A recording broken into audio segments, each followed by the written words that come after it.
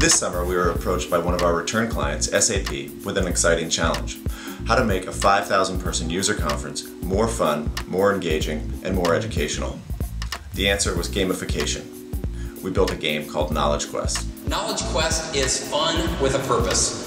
And the goal of Knowledge Quest this week is to provide a playful and engaging way to learn while we network and we meet new people. Well, I can't tell you how much I've been looking forward to Knowledge Quest. It's an amazing game and I want to encourage you all to play. Anything new that you tried because of Knowledge Quest that you might not otherwise have done? Uh, definitely. There were some networking items. For example, you had to find someone that was from over 5,000 miles away. And so now I actually went and looked for people that were from other parts of the world. I did find a guy who came all the way from Turkey. I took a photo with him and I emailed it to you guys. It was just amazing. Thanks to this game, I came to know quite a number of people because of these discussions.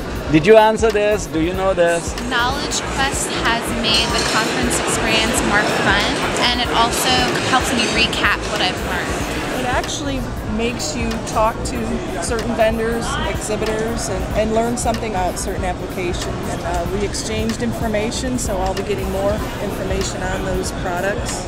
After we reach a conference grand total of 1 million total points among all of the players, SAP is going to make a donation to a nonprofit called Kaboom, and Kaboom encourages children to play by building community playgrounds. Are you hoping that we have Knowledge Quest again next year at TechEd? Absolutely, I'm looking forward for it. This would be a good excuse to bring my entire development team here oh. just to play Knowledge Quest as a team event. We should do it next year too.